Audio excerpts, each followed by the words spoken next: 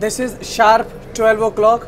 Madgaon के आप देख लीजिए, प्लेटफॉर्म नंबर चार से रवाना होने के लिए तैयार। आपके लिए ढेर सारा एंटरटेनमेंट एंटरटेनमेंट आपके लिए ढेर सारा इन्फोटेनमेंट बस दुआ यही है, फ़िलहाल तो देखो यहाँ धूप है।